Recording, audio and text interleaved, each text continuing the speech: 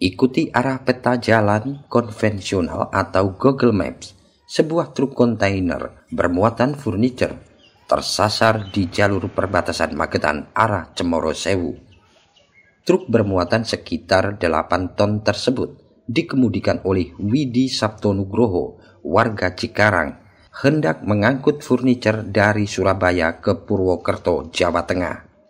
Setibanya di lokasi kejadian, truk tidak kuat menanjak dan berjalan mundur hingga menabrak mobil pick-up warga yang terparkir di pinggir jalan.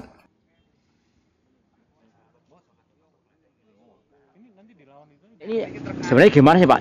Hujan semalam. Terus? Yang di hutan ngoser terus. Terus Pak lewat jalur ini gara-gara di... Google Map. Oh gitu. Ngarahi mriki Google Map. Sebelumnya pernah lewat sini gak Pak? Dereng pernah melu Google Map. Oh gitu. Tapi memang jalurnya ekstrim gitu. Iya Map. ekstrim. Wah ekstrim mau iso. Ini dari mana mau ke mana nih Pak? Surabaya Purwokerto. Bawa apa ini Pak muatan? Puniter. Apa? Puniter. Oh berapa ton nih beratnya? 8 ton. Jadi langsung gak kuat gitu aja Pak ya? Nggih, karena ngoser hujan.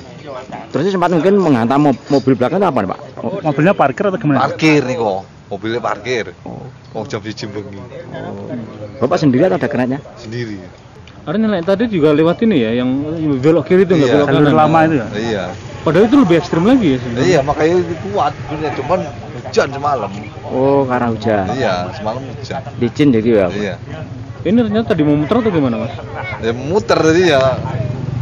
Saat aja gigi berapa Pak? Lagi rendah C dia. Rendah ya? Ada C-nya. Oh tapi tetap nggak kuat ya? Tetep. Ngo- Kuat mah kuat cuma ngoser dia. Oh gitu, puter gitu banyak. Puter Licin gitu ya? Iya. Nggak ada yang peringatkan gitu mas di bawah gitu? Orang Malam. jam malam. Sepi. Sepi gak ada orang.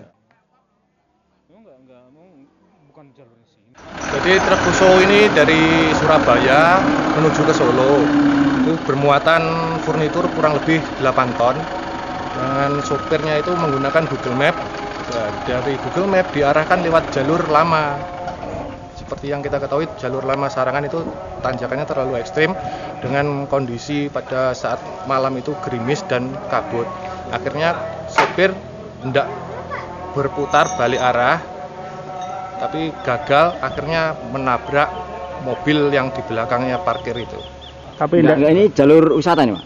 jalur wisata jalur alternatif bukan jalur utama nah. Tapi saat ini gimana? Nggak bisa dilewati berarti totalnya? iya sementara tutup total dari subuh tadi sampai jam 12 ini masih ditutup total untuk memang jalur lama itu tidak direkomendasi untuk kendaraan berat ya mas? ya untuk jalur lama tidak direkomendasikan untuk kendaraan bermuatan berat karena tanjakannya terlalu ekstrim Terus ini rencana gimana? Eh, Mau diderek atau gimana? Atau ditarik atau gimana? Ya untuk proses evakuasi sudah dimulai dari tadi pagi Pak untuk karena kondisi tanahnya habis hujan itu lembek itu jadi agak sulit ini sudah mulai ditarik serat sama derek.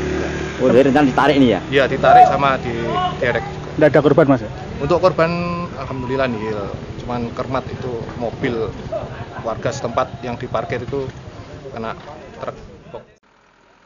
Truk baru dapat melanjutkan perjalanan usai dievakuasi oleh truk derek.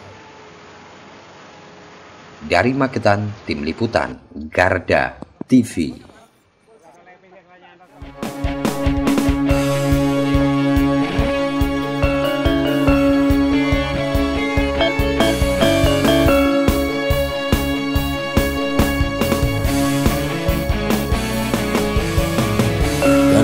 owners royalty